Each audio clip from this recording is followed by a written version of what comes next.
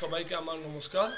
আমি মুকেশ পান্ডে, ভারতীয় জাতীয় কংগ্রেসের লক্ষ্মীপুর তেরো নম্বর বিধানসভার প্রত্যাশী এবং আমি আজকে আমাদের কংগ্রেস পার্টির পক্ষ থেকে যে পাঁচটি ঘোষণা করা হয়েছে, সেই ঘোষণার ব্যাপারে আপনাকে গ্যারান্টির সাথে বলতে চাই, আমাদের সরকার গঠন হলে আমরা পাঁচটি গ্যারান্টি আমাদের জনসাধারণকে দেব।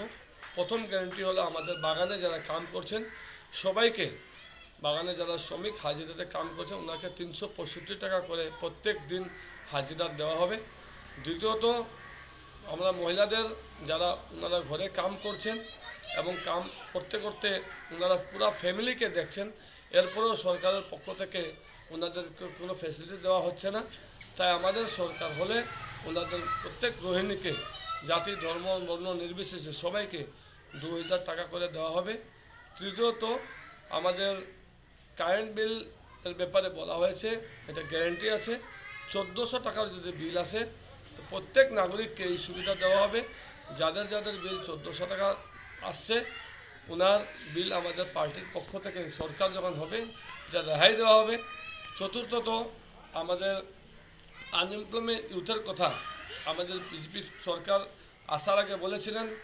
সরকার বিজেপির সরকার হলে বছরে দুই কোটি ইউথকে চাকরি দেওয়া হবে, কিন্তু আমরা দেখেছি বিগত পাঁচ বছরে চাকরি দেওয়া হয়নি এবং দশ কোটির জায়গাতে আমার মনে হয় একবারেই আমাদের বরাকভ্যালিকে বঞ্চিত করা হয়েছে।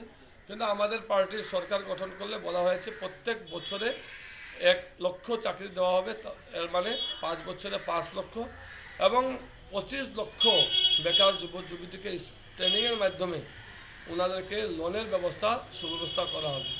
এবং আমি লক্ষ্মীপুরের ভারতীয় জাতীয় কংগ্রেসের প্রত্যাশী হিসাবে আমি বলতে চাই, আমাদের লক্ষ্মীপুরের জনসাধারণ অনেক দাবি আছে। বিশেষ করে আমাদের লক্ষ্মীপুর বৃন্দাকানিতে একটা পুলের হ্যাঙ্গিং ব্রিজ সেই ব্রিজকে প্রতিসত্তর করা হবে এবং গোবিন্দপুরে, আর মাঝখানের মাঝে একদম আপনার ব্রিজের কথা আছে। সেই ব্রিজ অনেক দিনে পুরনো দাবি, সেই ব্রিজটাকে পূর্ণ করা হবে। লক্ষ্মীপুর বৃন্দাকানি ঘাটে এটিএমের ব্যবস্থা করা হবে। তথা ছোটো মামলাতে যে হসপিটাল আছে, সেই হসপিটালকে পূর্ণাঙ্গ রূপ দেওয়া হয়নি। সেটাকে পূর্ণাঙ্গ রূপ দেওয়ার জন্য এটা ব্যবস্থা করা হবে এবং লক্ষ্মীপুর যে হাসপাতাল আছে, সেই হাসপাতালকে টু হান্ড্রেড বেডেড হাসপাতাল, এর সাথে সাথে কৈলাপুরে যে হসপিটাল আছে, সেটাকে চালু করা। এবং লক্ষ্মীপুরে আপনারা জানেন, এত বছর হওয়ার পরেও আমাদের লক্ষ্মীপুরকে পূর্ণাঙ্গ রূপ সাবডিভিশনকে পূর্ণাঙ্গ রূপ দেওয়া হয়নি। সেটাকে পূর্ণাঙ্গ রূপ দেওয়ার ব্যবস্থা করা হবে। এরপরে আমাদের লক্ষ্মীপুরে ব্লাড ব্যাঙ্ক নেই।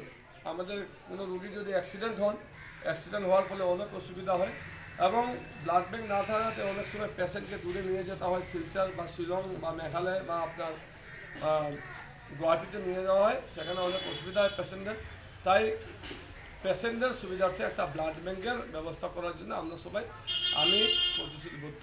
এবং আমি সবাইকে লক্ষ্মীপুরের জনসাধারণের কাছে একটা আবেদন রাখছি, যেহেতু আসামে এবার কংগ্রেসের মহাজোটের সরকার হচ্ছে তাই আপনারা সবাই দলবদ্ধভাবে জাতি, ধর্ম, বর্ণ নির্বিশেষে সবাই ভারতীয় জাতীয় কংগ্রেসের প্রার্থী হিসাবে আমি মুকেশ পান্ডাকে সমর্থন করার জন্য আপনাদের সবাইকে অনুরোধ করছি। নমস্কার